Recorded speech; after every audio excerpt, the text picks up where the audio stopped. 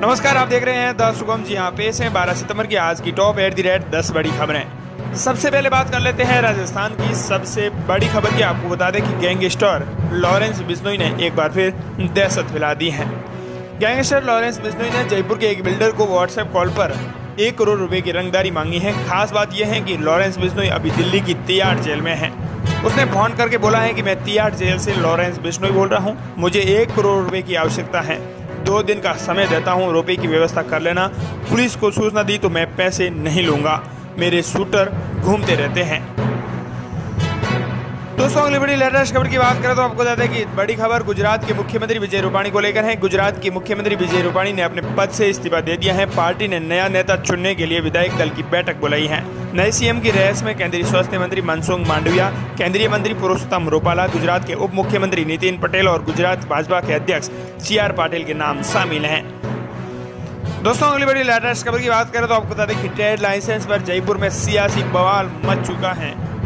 शांति धारीवाल बोले, सरकार ने ट्रेंड लाइसेंस के लिए ग्रेटर निगम निगम को नहीं दी स्वीकृति। डिप्टी मेयर ने कहा कि झूठ बोल रहे हैं मंत्री। जयपुर में ट्रेड लाइसेंस पर रोक लगाने और सरकार की ओर से यू टर्न लेने के बाद इस पूरे घटनाक्रम ने अब सियासी तूल पकड़ लिया है। लाइसेंस लागू करने और फिर इस पर रोक लगाने के तरीकों और बयानों पर सियासी बवाल खड़ा हो गया है। वहीं दोस्तों, अगली बड़ी लेटेस्ट खबर की बात करें तो आपको बता दें कि नकल गिरोह के उन पचास विद्यार्थी गिरफ़्तार। मास्क में डिवाइस, ब्लूटूथ सुबाने को हाथ और कंधे पर प्लास्टर। नीट एसआई परीक्षा से एक दिन पहले सात जिलों में पुलिस, एसओजी की बड़ी कार्रवाई। देश भर के मेडिकल कॉलेज में प्रवेश के लिए आयोजित होने वाली नीट और प्रदेश में एसआई भर्ती से एक दिन पहले शनिवार को पुलिस और एसओजी ने बड़े नकल गिरोह का पर्दाफाश किया है। एसओजी ने जयपुर सहित सात जिलों में कार्रवाई करते हुए एसओजी ने उन पचास छात्रों और युवकों को गिरफ़्तार किया है। दोस्तों अगली बड़ी लेटेस्ट खबर की बात करें तो आपको बता दें कि वायरल वीडियो विवाद नागौर सांसद हनुमान बेनीवाल बोले, आरपीएस हीरालाल सैनी को बचाने वाले अफसर बर्खास्त हो। नागौर सांसद हनुमान बेनीवाल ने कहा है कि राजस्थान पुलिस के वृत्ताधिकारी हीरालाल सैनी का एक महिला पुलिसकर्मी के वीडियो वायरल होने के मामले में पुलिस का दोगला सरीदर सामने आया है। परिवार दर्ज कराने के वो जयपुर पुलिस आयुक्तालय ने पुलिस कमिश्नर सहित आईपीएस अधिकारी प्रदीप मोहन शर्मा और अनिल परिस देशमुख और नागौर पुलिस के मामला संज्ञान में होने के बावजूद न्यायोचित कार्रवाई करने के स्थान पर लीपापोती की है। शासन ने कहा है कि पुलिस अधिकारी हीरालाल सैनी के सीएमओ से जुड़े तार भी जग ज़ाहिर हैं। ऐसे में सरकार को पूरे मामले में उच्च स्तरीय जाँच करवानी चाहिए।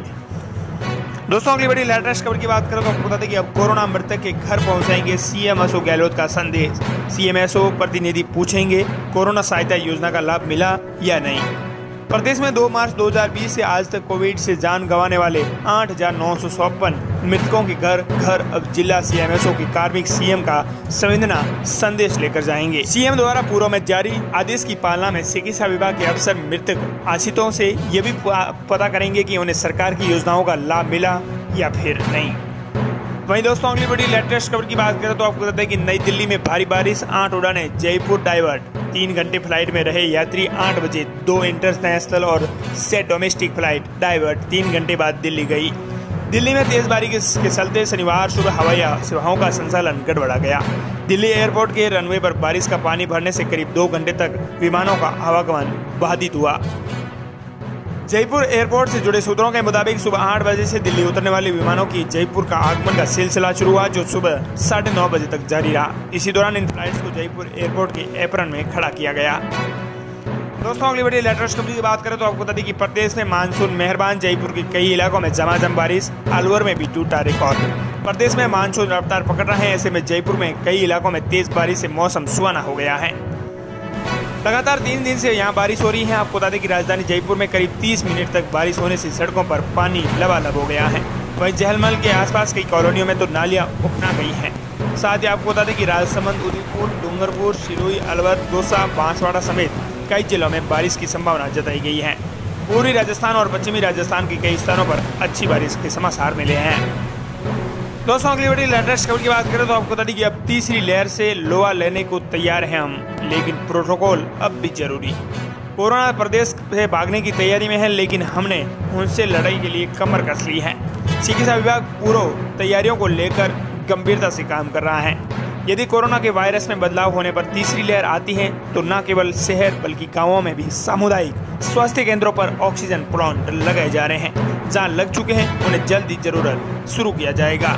लेकिन जहाँ पर काम अभी तक अधूरा है, वहाँ जल्द ही कार्य पूर्ण करने का काम सीएससी पर डीजी सेट और इलेक्ट्रिक सिस्टम भी लगाए जा रहे हैं। वहीं दोस्तों, अगली बड़ी लेटेस्ट खबर की बात करें तो आपको बता दें कि कांग्रेस प्रदेशाध्यक्ष और शिक्षा मंत्री गोविंद सिंह डोटासरा का एक वीडियो सोशल मीडिया पर वायरल हो रहा है। जो सुक्रियो में है, इस बार उनका जो वीडियो जमकर वायरल हो रहा है, उसमें कहीं पे निगाहें, कहीं पे निशाने की कावत चरितार्थ हो रही है।